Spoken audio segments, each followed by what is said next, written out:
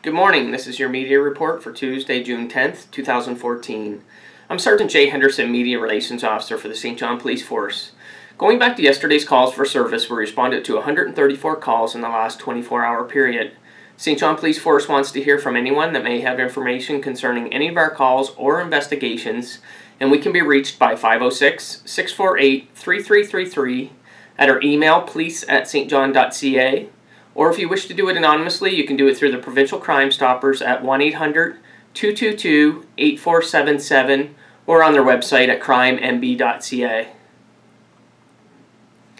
Going back to yesterday's briefs, I reported that there was a break and enter and attempted arson at a residence on Victoria Street that occurred on Sunday at 5:50 p.m. To update this investigation, yesterday, two youths, a female aged 13 and a male aged 14, were arrested in connection with this incident. They were later released on conditions with a future youth court date to answer to the approved criminal charges.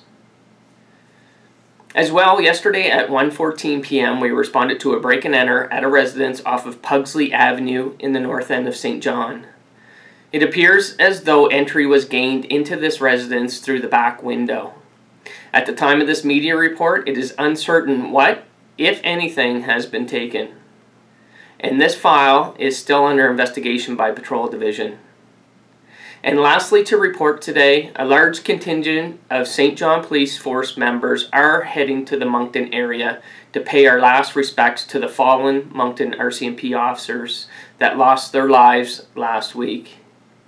We are bussing to Moncton at approximately 7.30 this morning to attend the police regimental funeral. And this will end your media report for June 10th. Have a great day and be safe.